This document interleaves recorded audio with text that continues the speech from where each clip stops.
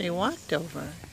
Isn't that kind of far for little babies? No, they're, they're probably trying to get to the lagoon. Oh, why don't you help them?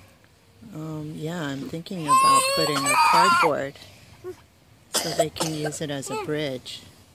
Bridge.